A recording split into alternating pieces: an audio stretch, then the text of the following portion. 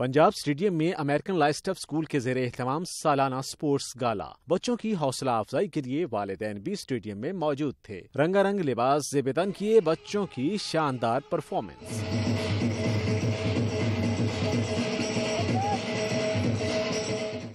का कहना था कि स्पोर्ट्स गाला की तैयारियों पर बड़ी मेहनत की जाती है। स्पोर्ट्स डे में हमारे स्पोर्ट्स टीचर्स का बहुत पार्टिसिपेट होता है, उनके बहुत ज़्यादा कंट्रीब्यूशन है जो बच्चों को इस काबिल करते हैं कि वो अच्छे से उसमें अपना रिज़ल्ट दे सकें। इसमें बहुत ज़्यादा एफर्ट पुट होती है टीचर्स की आर्ट वर्क का स्टूडेंट्स को ट्रेन करने का।